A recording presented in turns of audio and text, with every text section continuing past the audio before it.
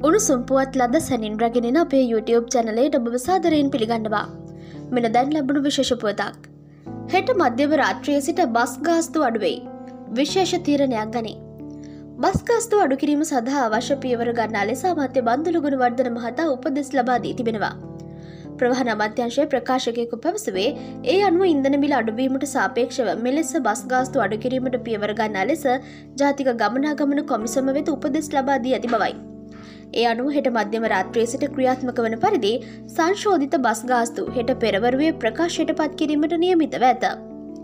මෙවැනි බෝතසනින් දැනගන්න අපේ YouTube චනලේ සබස්ක්‍රයිබ් කරන්න අමතක කරන්න එපා.